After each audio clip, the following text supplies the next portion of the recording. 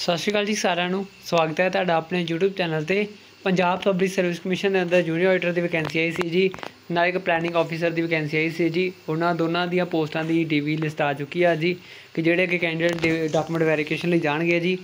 ਜਿੱਦਾਂ ਆਪਾਂ ਪਹਿਲਾਂ ਦੇਖਦੇ ਹਾਂ ਜੀ ਜੂਨੀਅਰ ਆਡੀਟਰ ਦੀਆਂ ਜਿਹੜੀ 75 ਵੈਕੈਂਸੀਆਂ ਸੀ, ਇਹਦੇ ਲਈ ਕੈਂਡੀਡੇਟ ਜਿਹੜੇ ਅੱਗੇ- ਅੱਗੇ ਸ਼ਾਰਟਲਿਸਟ ਕੀਤੇ ਗਏ ਆ ਜੀ, ਉਹਨਾਂ ਦੇ ਰੋਲ ਨੰਬਰ ਆ ਚੁੱਕੇ ਆ ਜੀ। ਤੇ ਤੁਸੀਂ ਲਿਸਟ ਵਿੱਚੋਂ ਦੇਖ ਸਕਦੇ ਹੋ, ਜਾਂ ਤੁਸੀਂ ਪੰਜਾਬ ਪਬਲਿਕ ਸਰਵਿਸ ਕਮਿਸ਼ਨ ਦੀ ਸਾਈਟ ਤੋਂ ਜਾ ਕੇ ਆਪ ਵੀ ਦੇਖ ਸਕਦੇ ਹੋ, ਜਾਂ ਟੈਲੀਗ੍ਰਾਮ ਦਾ ਲਿੰਕ ਇਸੇ ਵੀਡੀਓ ਦੇ ਅਬਾਊਟ 'ਚ ਆ ਜੀ, ਉੱਥੋਂ ਜਾ ਕੇ ਵੀ ਦੇਖ ਸਕਦੇ ਹੋ ਜੀ। ਕਿ ਜਿਹੜੇ ਜਿਹੜੇ ਕੈਂਡੀਡੇਟ ਸਿਲੈਕਟ ਕੀਤੇ ਆ ਜੀ, ਤੇ ਉਹਨਾਂ ਦੇ ਬਾਰੇ ਅਪਡੇਟ ਆਈ ਆ ਜੀ। ਨਾਲੇ ਦੱਸਿਆ ਵੀ ਗਿਆ ਕਿ ਕਿਹੜੇ ਕਿਹੜੇ ਡਾਕੂਮੈਂਟ ਤੁਹਾਨੂੰ ਚਾਹੀਦੇ ਆ ਜੀ।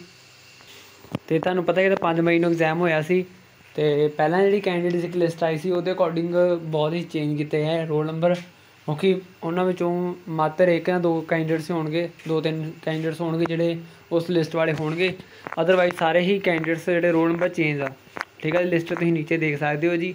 ਤੇ ਜਿਨ੍ਹਾਂ ਦੇ ਮਤਲਬ ਕਿ ਆ- ਹੈਗੇ ਆ ਜੀ ਆਪਣੇ 40 ਤੱਕ ਰੋਲ ਨੰਬਰ ਹੈਗੇ ਆ ਉਹਨਾਂ ਦੇ ਹੈਗੇ ਆ ਜੀ 23 ਸਤੰਬਰ ਨੂੰ ਇੰਟਰ- ਆਪਣੀ ਡੀਵੀ ਤੇ ਜਿਹੜੇ ਹੈਗੇ ਆ ਜੀ ਅ, 41 ਤੋਂ ਅੱਗੇ 80 ਤੱਕ ਉਹਨਾਂ 24 ਸਤੰਬਰ ਤੇ ਜਿਹੜੇ ਹੈਗੇ ਆ ਜੀ 81 ਤੋਂ ਅੱਗੇ ਨੈਕਸਟ ਕੈਂਡੀਡੇਟਸ ਹੈਗੇ 125 ਉਹਨਾਂ ਦੇ ਹੈਗੇ ਆ ਜੀ 25 ਸਤੰਬਰ ਨੂੰ ਹੈਗੀ ਆ ਜੀ ਡੀਵੀ ਤੇ 9 ਤੋਂ ਲੈ ਕੇ 1 ਵਜੇ ਤੱਕ ਹੈਗਾ ਜੀ ਆਪਣਾ ਡਾਕੂਮੈਂਟ ਵੈਰੀਫਿਕੇਸ਼ਨ ਦਾ ਟਾਈਮ ਬਾਕੀ ਮੈਂ ਲਿਸਟ ਵਿੱਚ ਤੁਸੀਂ ਦੇਖ ਸਕਦੇ ਹੋ।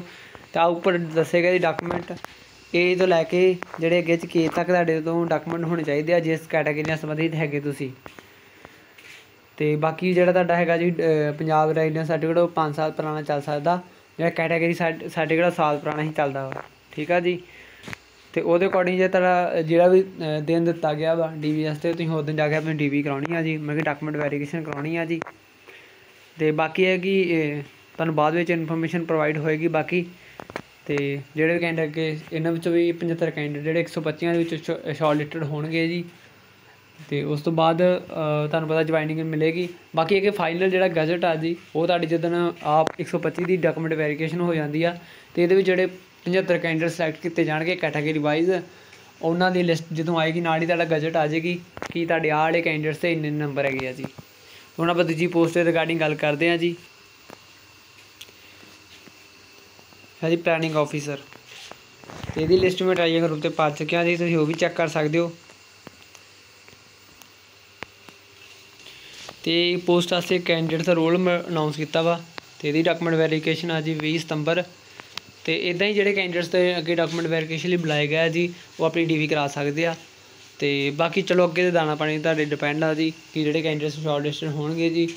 ਬਾਕੀ ਜੇ ਤੁਹਾਨੂੰ ਕੋਈ ਵੀ ਦਿੱਕਤ ਲੱਗਦੀ ਆ ਡਾਊਟ ਲੱਗਦਾ, ਤੁਸੀਂ ਆਰਟੀਆਈ ਲਗਾ ਕੇ ਆਪਣਾ ਰਿਪਲਾਈ ਲੈ ਸਕਦੇ ਹੋ ਜੀ ਕਿਸੇ ਰਿਗਾਰਡਿੰਗ ਬਾਕੀ ਜਿਹੜੇ ਵੀ ਕੈਂਡੀਡੇਟਸ ਜ਼ਿਆਦਾਤਰ ਜੂਨੀਅਰ ਆਡੀਟਰ ਦੇ ਐਗਜ਼ਾਮ ਹੋਏ ਆ, ਉਹਦੇ ਵਿੱਚ ਸਾਰਿਆਂ ਨੂੰ ਹੈਗਾ ਕਿਉਂਕਿ ਪਹਿਲਾਂ ਲਿਸਟ ਵਿੱਚ ਹੋਰ ਰੋਲ ਨੰਬਰ ਹੈਗੇ ਸੀ। ਕਿਉਂਕਿ ਬਾਅਦ ਵਿੱਚ ਨੋਟੀਫਿਕੇਸ਼ਨ ਦੇ ਕੇ ਉਹਨਾਂ ਨੇ ਵਿਡਰਾਅਲ ਕਰ ਲਈ ਸੀ ਨੋਟੀਫਿਕੇਸ਼ਨ ਉਹ। ਬਾਕੀ ਉਹ ਨਵੀਂ ਲਿਸਟ ਆਈ ਹੋ ਤੁਸੀਂ ਉਹਦੇ ਅਕੋਰਡਿੰਗ ਆਪਣੇ ਰੋਲ ਨੰਬਰ ਚੈੱਕ ਕਰ ਸਕਦੇ ਹੋ ਜੀ, ਸਭ ਕੈਂਡੀਡੇਟਸ